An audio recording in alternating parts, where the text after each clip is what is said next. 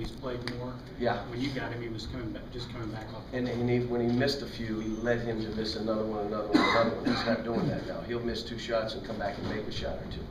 He's playing physical, he's better with the ball, his decision-making is better than it was then.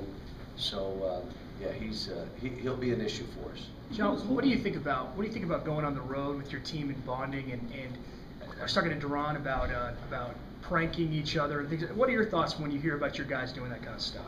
I'm, I, look, the, the best thing about when school ends and we have that time together, and we're going three times a day, including a breakfast meal and an evening meal, and then you go on the road and you're twenty-four seven for two days and you're together at meals, at shoot-arounds, you know, film sessions, they start coming together.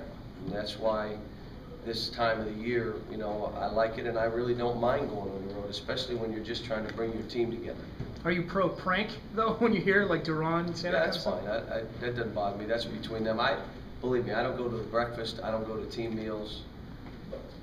They see me enough. So whatever they I, if I'm there, they may not do that. Now all of a sudden they're like, where is he? Is he watching? So I don't, I stay away and, you know, do my own thing. And then when the bus leaves, you wouldn't believe this, I'm on that front seat. I'm ready to go. Let's go. So. What do you think of Darrin Horn, just some of his qualities, what are his strengths, maybe as a coach, and you think he's gonna, gonna be able to get South Carolina? going? Yeah, he's doing fine. I mean, it's a hard job. Um, you know, uh, what he's done uh, to set the stage for where he wants us to go, you know, and he went from man to zone. He's not afraid to try things. Um, and I think he's doing a fine job. It's just, you know, South Carolina's hard. It's a hard deal to get going, and that's why you got to stick with a guy, and you got to give him seven, eight years and let him get it going. Um, I think the last guy to, you know, really do some stuff down there may have been what Frank McGuire. I mean, and it's you know it's a good program. It's great school, great facilities. It just you know takes time to get it going right. When he was here with his team earlier, he kept saying, have SEC players, they're just young. Do you see that? Yeah, I agree with them.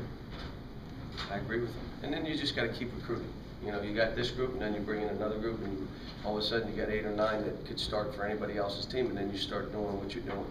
So I, I think, uh, and no one's going to question his coaching. I mean, everybody knows he can coach. He's you know, done it at uh, Western, and he's done it there. He beat us. We were number one, and the last time we were number one to get beat on the road was down there, and he did it. So I mean, I, there's nobody questioning his ability to coach. Cal, you're into February now. Where is your team with regard to where you want them to be at this point as they get into February? Probably about where they should be. You know, so I'm not gonna tell you we're behind, but I'm certainly not telling you we're ahead. We're not ahead. Uh, we still, you know, some of the guys need to take everything up a notch. We're still trying to figure out sometimes, you know, where we're playing, how we finish plays off. We're not quite there yet. Um, But, you know, it's February and we're playing like a February team.